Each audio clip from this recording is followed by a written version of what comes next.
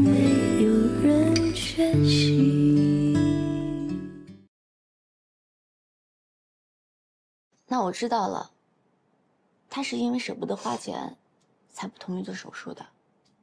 对，我们要赔偿那个姐姐，还要付我的学费，他没有办法。可是，在这时候不能命都不要啊！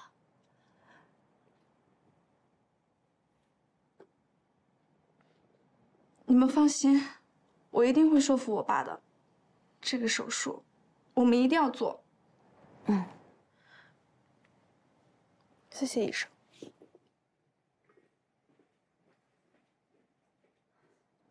我一直以为，在钱和命之间根本没有什么可选的，现在才知道，原来这在很多家庭里，才是最难的选择。我倒是想到了一个办法可以帮他，我们去找陆主任。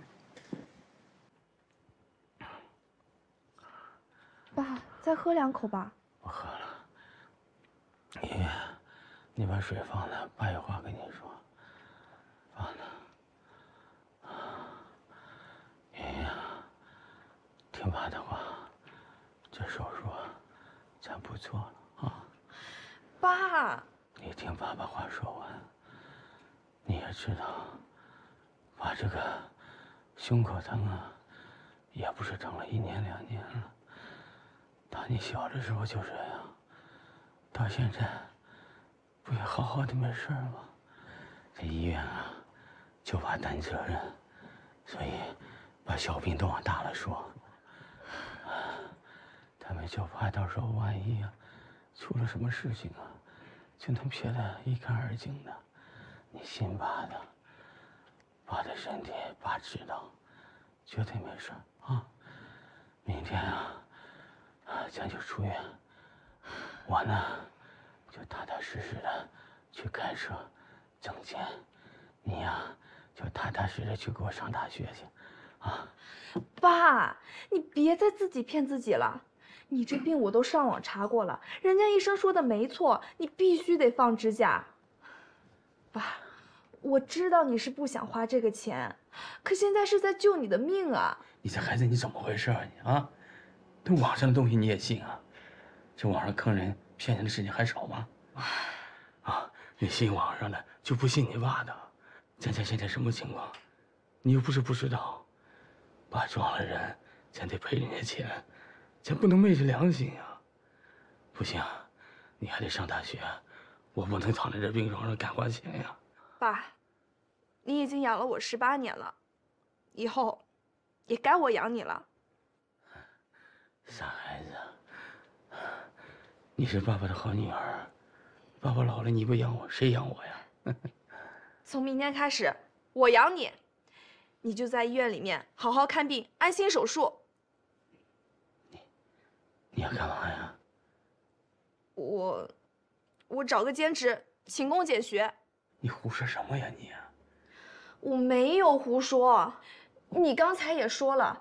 以咱们家现在这个情况，你就算一天开四十八小时的出租车，你都挣不够赔他们的钱。我现在找个兼职，还能帮你分担分担。家里的事情，爸不用你分担。你现在的任务就是给我好好上大学，好好学习。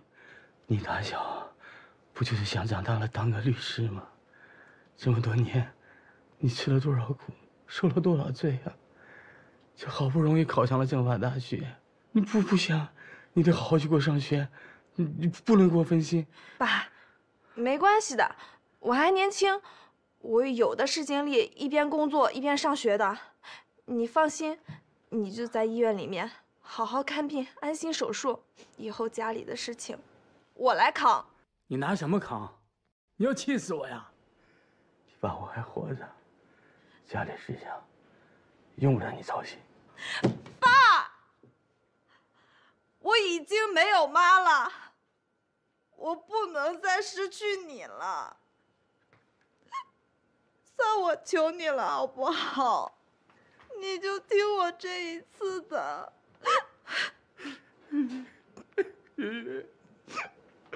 我，对不起，爸到了现在也没脸见你妈了。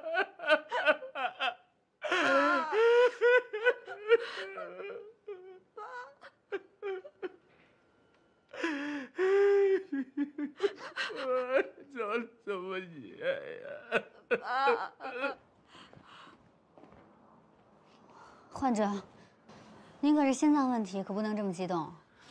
对不起，对不起，爸，你也快别哭了。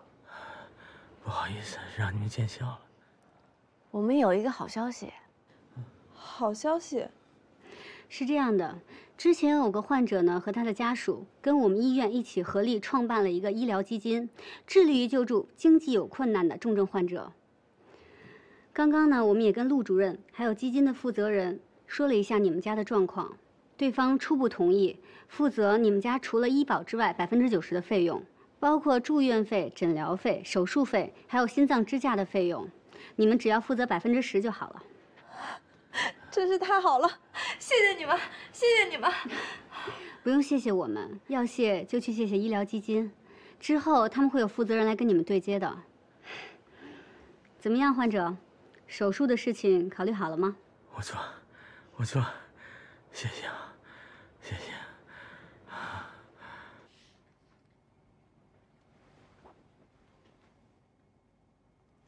喂，喂，还没睡啊？没有呢，怎么了？啊，我刚想起来那个叫方静轩的患者，就那个跳芭蕾舞的，他同意手术了吗？还没有，我还在想办法。哦，没事儿，车到山前必有路，你也不用太着急了。时间不早了，你赶紧休息吧。嗯，好，谢谢。那晚安。嗯，晚安。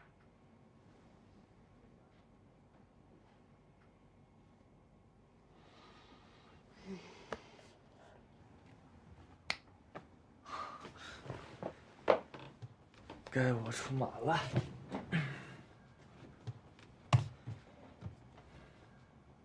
这些是我整理的颅骨钻孔手术的成功案例。其实这个手术成功率非常高，我看过你的 CT，出血不是很严重，只要及时清除血肿，把血给排出去，就不会影响一个月后你的演出。我真能去玛丽斯基剧院跳舞了。我们先帮你把硬脑膜外血肿给控制住，一般人通常需要恢复几个月时间，但我相信你，你是一个专业的舞者，有坚韧的毅力，一个月之后你就可以重新返回舞台。但你要答应我，演出一旦结束，你要马上回来把病给治好。你该不会被我父母收买，找了一些假案例来骗我吧？你家人告我状都告到我们主任那儿了，我还会和他们串通啊？他们也是为我好，别怪他们。我可以给你保证，这些都是真实案例。那你得给我写个保证书，保证我手术完可以参加表演。所有手术都有风险，不可能保证百分之百成功。况且我们医院也不允许我们向患者做这样的保证。那我凭什么相信你啊？等上了手术台一麻醉，我就什么都不知道了。你们还不是想怎么手术就怎么手术啊？到时候我后悔都来不及了。这么跟你说吧，我要是想骗你的话，之前就不会来拆穿你的父母。当时你可是马上就要签同意书了。虽然我不能给你保证什么，但我还是要告诉你，我们尊重生命，尊重患者的权利，更加尊重每一个人的梦想。请相信我们。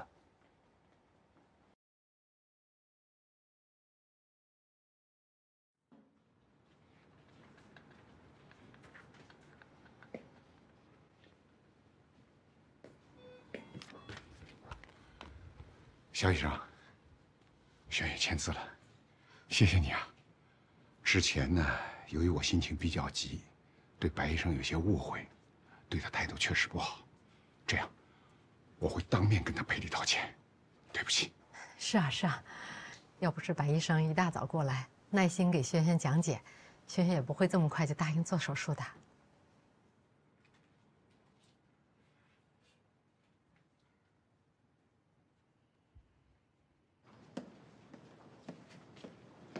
哎，你今天不休息吗？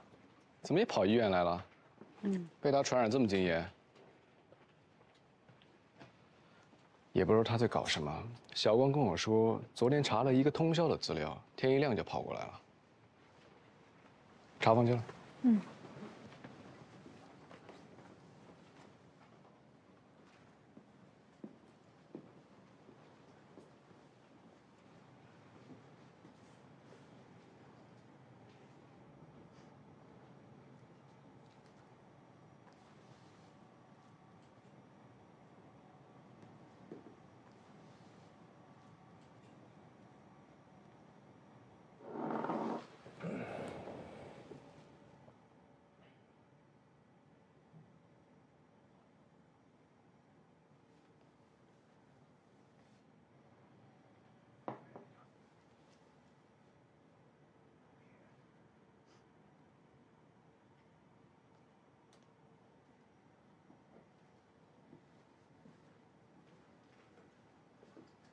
这次的手术很成功，硬脑膜外血肿已经清除了，没有什么特殊情况的话，一周以后就能出院了。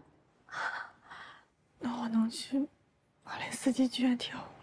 能去，医生说能去。演出前一个月呢，你要多注意休息，还有营养。我们会给他开一些抗癫痫还有止疼的药，记得按时服用。等你演出成功以后，记得回来做手术。谢谢你们。把后面那边好。你好，肖医生，我是来看望方景轩的。听说他刚做完手术，放心吧，手术很成功。那太好了。我我能去看一下他吗？嗯，这个可能要问一下患者还有家属的意见。肖医生，哎，正好。叔叔阿姨，我这次来是来看望方景轩的。哦，这里面是五千块钱，您先拿着。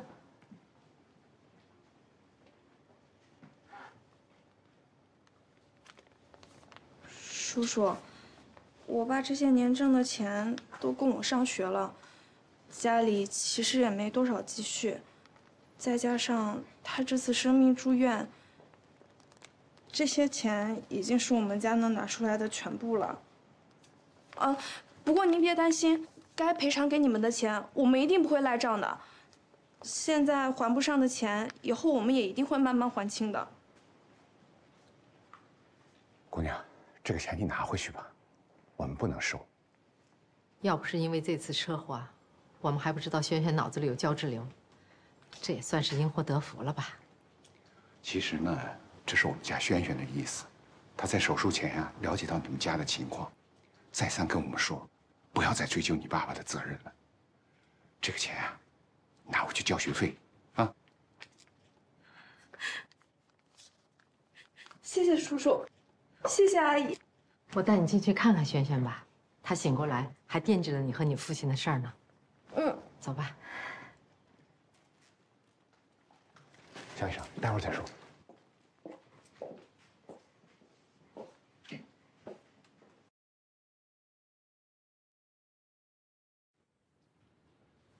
真想亲眼看看你在舞台上的样子。相信一个月以后，你一定能站在马林斯基大剧院的舞台上，实现你的梦想的。我一定会的。别说我了，你的梦想是什么？我听说你在读政法大学。嗯，上个月刚入学呢。嗯，平时业余的时候，我也会去一家律师事务所实习。勤工俭学吗？算是吧，也算是能给我爸减轻一点负担吧。太厉害了！千万不能让我爸妈听见，我到现在还在花他们钱。哪里有？你以后一定会比我更厉害的。我们都会越来越好的。嗯。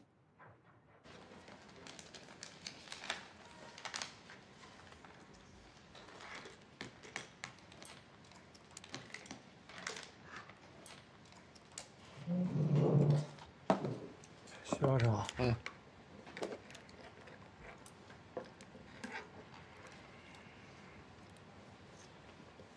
今天的饭挺咸啊！你还没吃就知道挺咸。唐花，你这个综合果仁看起来挺好吃的啊。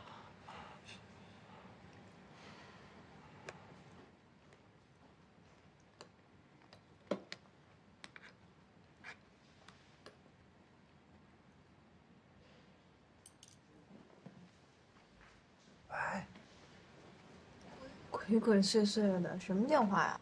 故弄玄虚呗。你们吃吧，我吃饱了。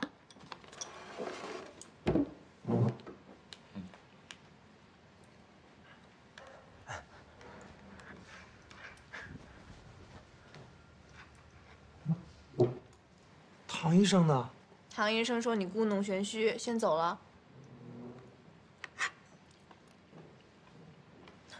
你这脸是六月的天，说变就变啊！还没下雨，给你看就不错了。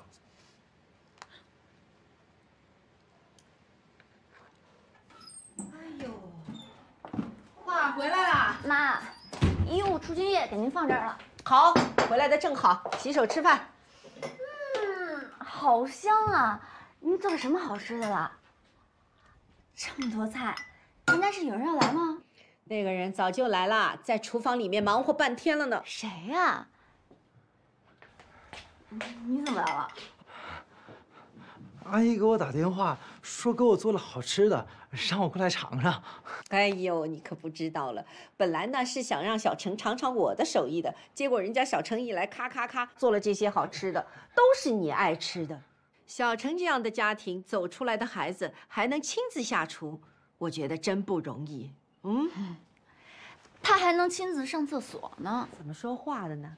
别理他，来坐下来吃饭了啊！哎喝椰子水啊！哎，谢谢您伯母。来，女儿来喝椰子水。伯母，您坐呀，我们吃饭。我们米饭闷着呢，你们两个好好聊聊啊！哎，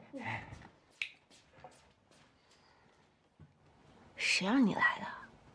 我妈给你打电话，为什么不告诉我？阿姨中午给我打电话的时候，咱们正在食堂吃饭。本来我想跟你说的，结果我打完电话回来，你就走了。别给我找理由。我今天下午一直在客厅，你为什么不说呀？我忘了。忘了？我看你就是故意的。不是故意。什么故意的呀？妈，你怎么偷听人家说话呢？啊，伯母也是也是关心我们嘛。哎呀，怎么了？嗯，没事，伯母，我我是看到这么多好吃的，我有点激动。哎呦，这些菜都是你自己做的，激动什么呀？来，动筷子了。哎，哎，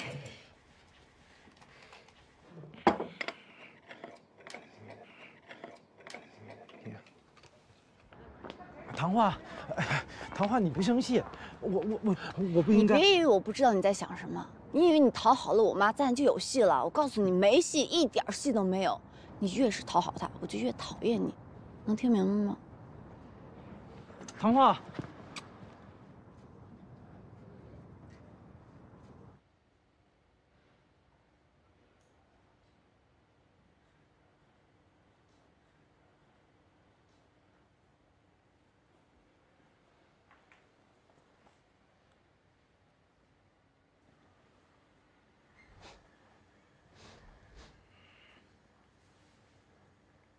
麻辣香锅。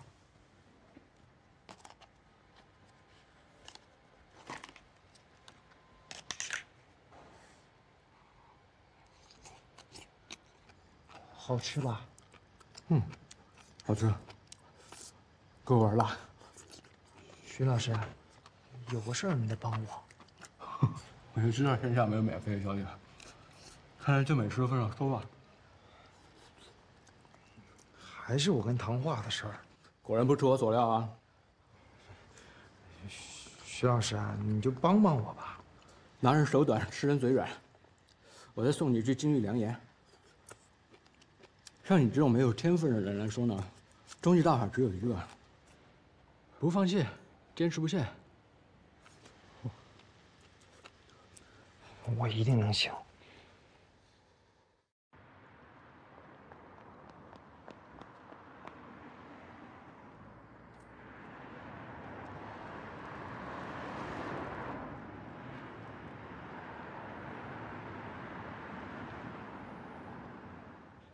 谭医生，打车呢？这个点儿不好打车，上车啊，咱们一块走。哎，死缠烂打不要脸，死缠烂打不要脸。谭医生，啊，谭医生，上车吧，别迟到了。谭医生，哎，谭医生，上车吧，快迟到了，科里还有一堆事儿呢。谭医生，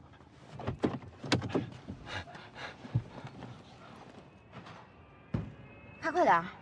放心吧，保证不会迟到的。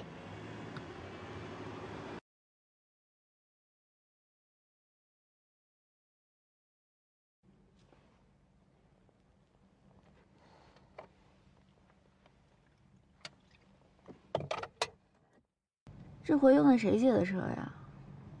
不是借的，租的。有钱收的。大早上不去医院，在我家门口瞎溜达啥？我没溜达，我顺路。如果我没记错的话，你家住浦东，你顺的哪门子路呀？我来办点事儿，所以就顺路了。撒谎也不带打个草稿的，脸皮越来越厚。真的？不以为耻，反以为荣。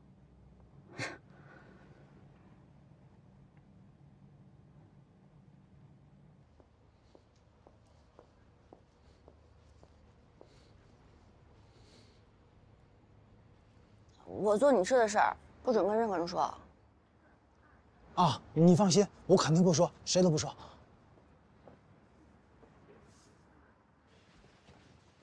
哎，早，徐老师。哎哎哎！刚才我停车的时候，看见你跟唐画一块来的，什么情况？我租了台车，去他家楼下等他，然后他起来晚了，又叫不着车，就一块来了呗。可以啊，小子啊，金玉良言没错吧？没错没错，路上他还夸我脸皮厚呢。这是夸你吗？肖医生，嗯，患者男，五十岁，因为腹胀不适，今天早上便血，怀疑自己得了痔疮，我给他做了血检、直肠指检，未见异常，不排除肠道肿瘤的可能性。要是肠癌啊！啊，不可能，不可能！我平时很注意身体保养的。您先别急，保养是一方面，但诱发肠道肿瘤的原因呢，其实很多。除了高脂肪与低纤维素的饮食有关呢，包括肠道的慢性炎症，还有遗传等原因，都有可能诱发癌变。哦，我等会儿帮您安排做一个肠镜检查。好吧。去那边。肖医生，你可算来了。刚才那个患者是个老中医，今天上午叨叨了我一上午了，比我妈还能唠叨。叨叨你什么了？他就说一看我就身体不好，需要调理。一会儿的功夫给我开了好多药方，什么当归呀、白芍呀，还有什么来着？反正好多我也记不住。就说我需要补血，需要调经。中医博大精深，要不你听听人家说的，去开个方子。我这一上午了，不知道是我给他看病，还是他来给我看病。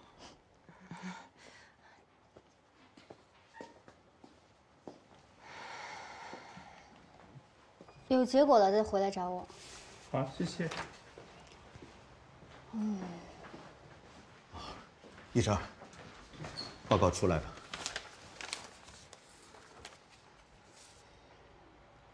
肠镜显示可能是早期结肠肿瘤。啊。不过您不用担心，如果是早期结肠肿瘤的话，没有发生转移，早发现早治疗，治愈成功的可能性是很高的。医生，那怎么治？要手术吗？是微创，到时候会有我们肛肠科的医生专门负责您的手术的。哦好，谢谢。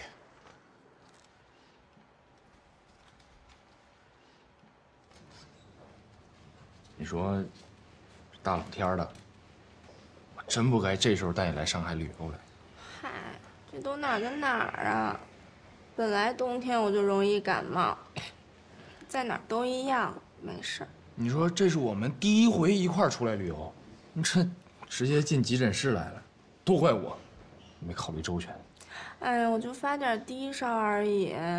都三十八度，还叫发点低烧呢？十七号陈延可，请到一诊室就诊。到了，走走走走诊室。医生，他可一天都没吃东西了，喝水都疼。嗓子发炎，扁桃体脓肿，还有一些黄色的渗出液。渗出什么？就是脓，应该是感染了。不是就普通感冒吗？怎么还有脓啊？这是常见的感染症状，不用太担心的。来，啊我再看一下淋巴结。淋巴结有一些肿大啊。这样吧，先去查一下血常规，还有血液生化。行。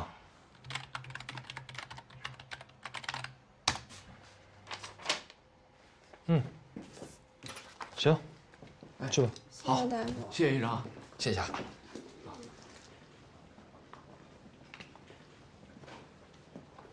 爸呀，一直觉得我照顾不好你，不同意咱们两个在一起。当时我还不服气呢，现在想想，你爸说的还真没错。你呀，就是被我爸给打击的没自信了。在我爸眼里，谁都配不上我，明星他也不行。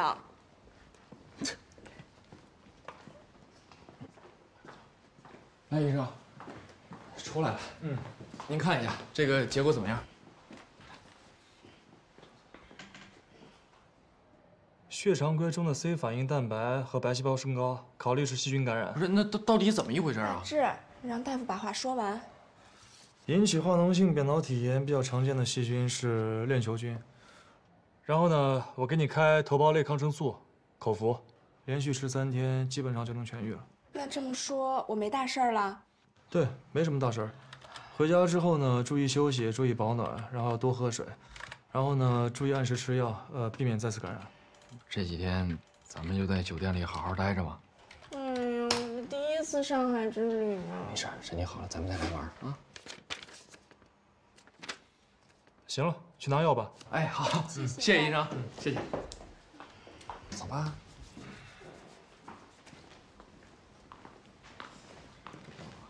哎怎么了？没事儿，路走多了脚疼。哎，你回去让医生看看去。算了，赶紧先回酒店休息吧。这两天可累死我了。也行，慢点，慢点，慢点。走啊，吃饭去。我不吃了，你去吧。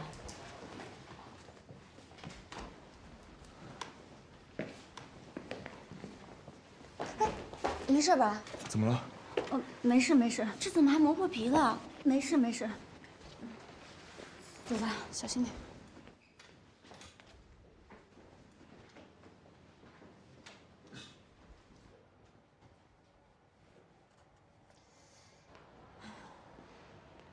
你怎么崴脚了？鞋不太合脚。来，我帮你上点药。呃呃，白医生，我我自己来吧。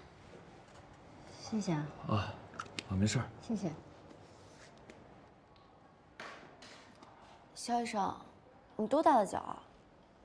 我应该是三六三七吧，我这鞋在网上买的，没试。那正好跟我的一样，我那儿还有双备用鞋，我给你拿去。嗯，等等，啊，嗯，我我跟你一起去吧。不用，我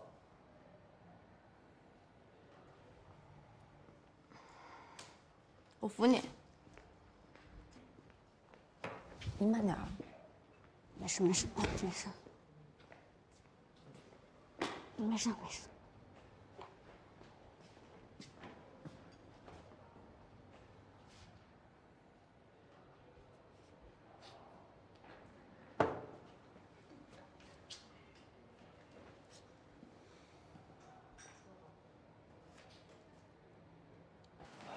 灵芝，上午有一个来上海旅游、扁桃体感染的女患者，你查一下记录。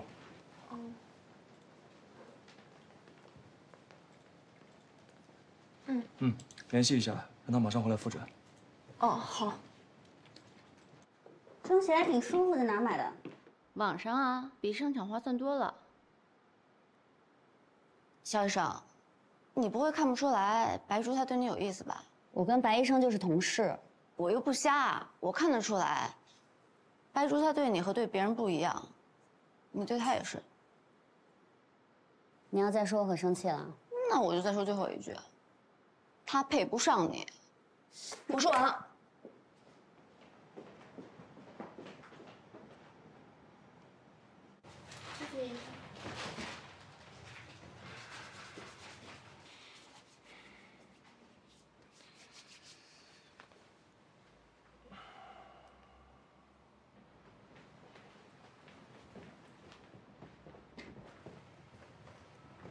什么呢？偷偷摸摸的啊？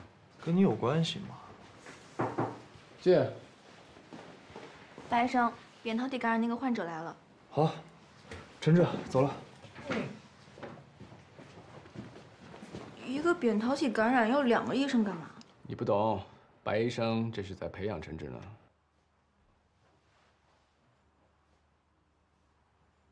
你说医生这么着急让我们回来，会不会出什么事儿了？乌鸦嘴！呸呸呸！呸呸呸！你的脚是不是受伤了？啊，我脚后跟磨破了。把鞋脱了让我看一下，趴在床上。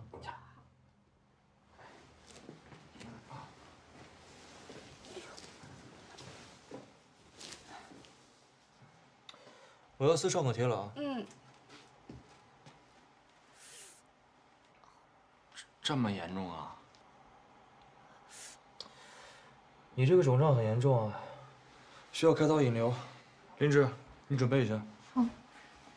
我跟你说一下啊，待会儿我们得取走一些脓液，做一个细菌培养。细菌培养？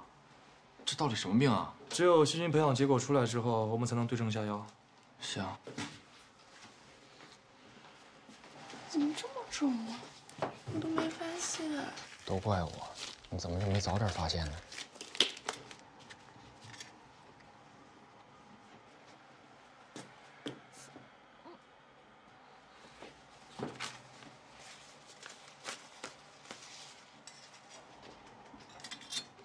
要准备开始了，有一些疼，你忍一下，一会儿就好。嗯。忍忍，马上就好了。这嗓子里也是这样的脓啊？现在还不知道，得细菌培养出来才能知道。马上就好。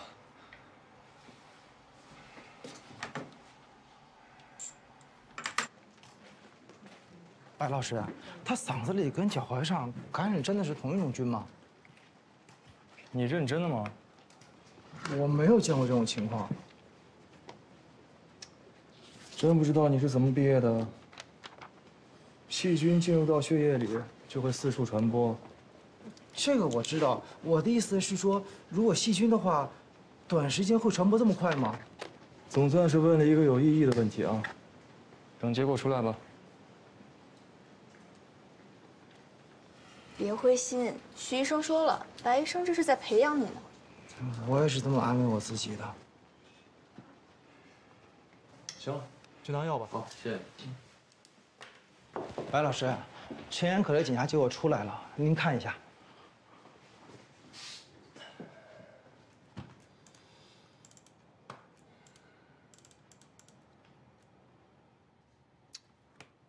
肺炎克雷伯菌，超级细菌。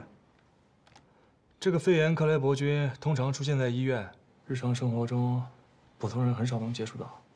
那是不是在咱们医院感染的？不会那么快。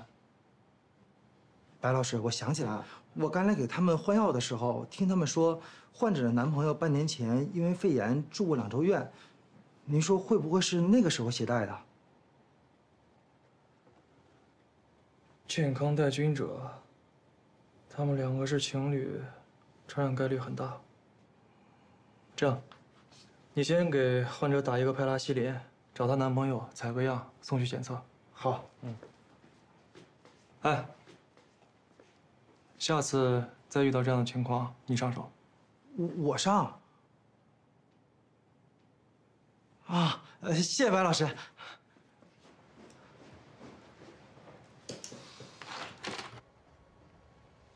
我的病是大志传染给我的。对，这怎么可能啊？我没什么症状啊。你现在是没什么症状，但是半年前你得过一次肺炎，那个时候就感染了肺炎克雷伯菌，然后你的身体就一直携带这个细菌，之后就传染给了陈彦可。但之前你们都一直没有发病，这次呢是因为你们来旅游，因为过度劳累，身体太虚弱，所以就发病了。一直携带。我们从你的喉咙和鼻腔的采样中检测到这种细菌。可是我每天上班接触那么多人，也没见过谁得这样的病啊。这个细菌呢，只有通过体液的接触才会传染。对不起啊，我不知道自己身上带着这样的细菌。这不是你的错啊，你自己也说了，你根本不知道啊。而且我现在感觉已经好很多了，是不是你们给我注射的药起作用了？对。那你们给大志注射和我一样的药不就好了？哎，对对对，把我身上的细菌都消灭掉。就算给你注射，也没有太大的用。为什么？因为你呢，携带这个细菌已经半年多了，身体里到处都是这个细菌，抗生素对你的作用不大。不是这什么意思啊？难不成我要一辈子都携带这种病菌？但如果不发作的话，对你没什么太大影响。可我要是一直携带的话，那以后不是还会传染给小可吗？很有可能。在进行亲密接触的时候，注意防范，这样可以降低感染的风险。会有办法的，一定会有办法的，对不对，医生？如果我们找到更有效的抗生素，我会通知你们。这段时间你要注意休息，有什么问题随时找我们。走吧。你爸说的没错。我就是照顾不好你，还把病传染给了你。大志。All right, if you have the latest treatment, please tell me. Okay, thank you.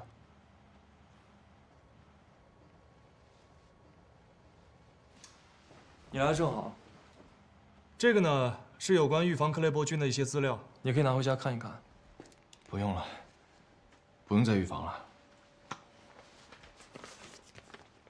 这封信，麻烦你们交给小可。我没有勇气自己告诉他，我照顾不好小可，麻烦你们了。白老师，这怎么办啊？把信扔了。啊？听不懂人话，把信扔了。啊。你现在马上去找陈妍可，把他带到门口拦住他。哦。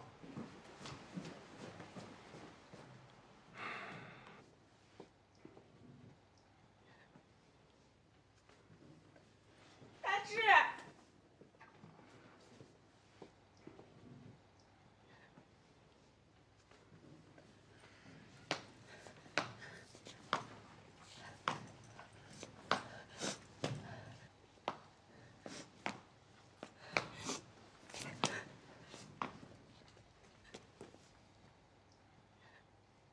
你就打算这么偷偷摸摸的跑了？对不起。遇见这么点小事你就不要我了？我身上一直带着细菌，随时会传染给你。这位患者，我觉得你不用背负这么沉重的压力，你之前又不知情，日后只要做好防护工作就好了。那也一样有感染的几率啊。我们医生呢，每天面对各种的疑难杂症，也看见过生离死别的爱情，像你这么轻易放弃的，还真是不多见。之前我们医院的林若云还有李石磊先生的事情，不知道你们听过没有？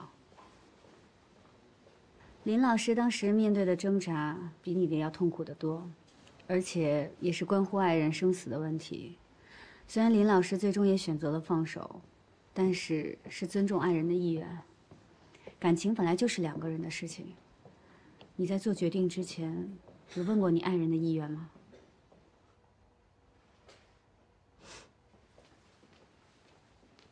之前呢我们这里还有一对老夫妇女方因为车祸问题变成了植物人。从医学的角度来说呢就算继续治疗也很难再醒过来但男方并没有放弃照顾她，还是每天给她读自己写的日记，帮助她回忆两个人经历过的点点滴滴。相信有一天她能够醒过来，再发生奇迹。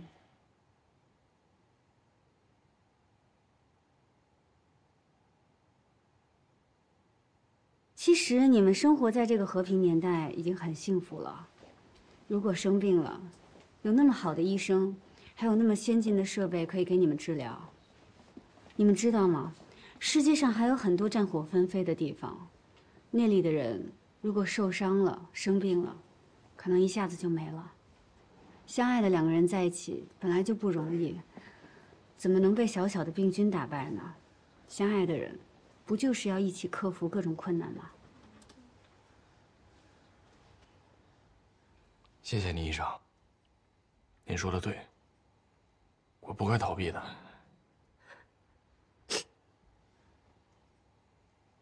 我不该逃避的。对不起，小可，对不起。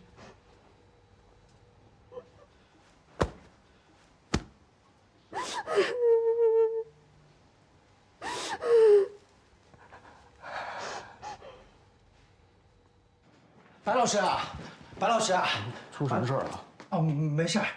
白老师啊，你怎么知道那封信没用呢？你小两口和好了。想要当一个好医生，你的眼睛里不仅要看到病，还得看到人。这半天你就没看到那个小姑娘看到小伙子的眼神啊？他是会因为一个肺炎克雷伯爵就不爱他了吗？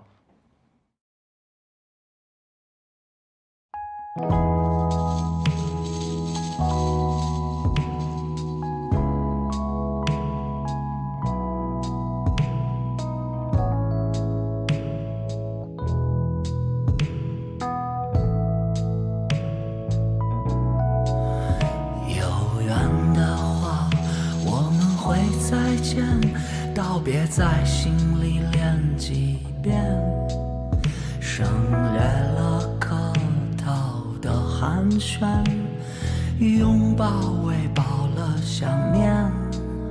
谁不会在约定的时间付出最真的一次爱？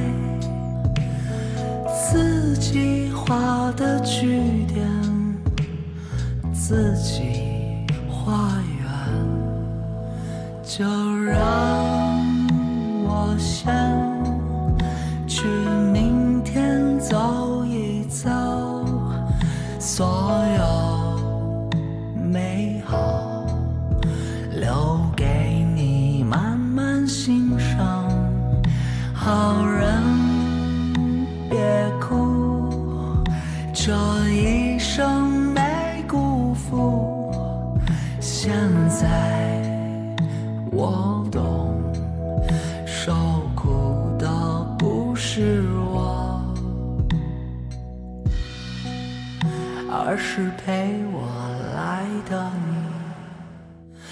就